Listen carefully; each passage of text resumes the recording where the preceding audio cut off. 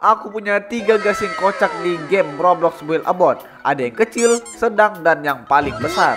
Nah, kalian penasaran kan gimana cara kerjanya? Makanya guys, pencet dulu tombol subscribe itu ya, karena itu sangat membantu channel ini guys. Jadi silahkan di subscribe ya guys ya. Oke, kita bakalan coba yang kecil ini dulu guys ya.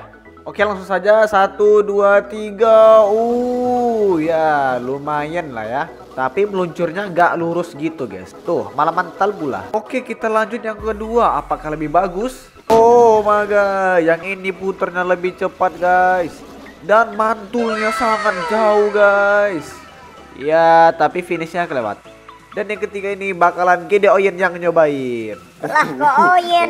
No, tidak.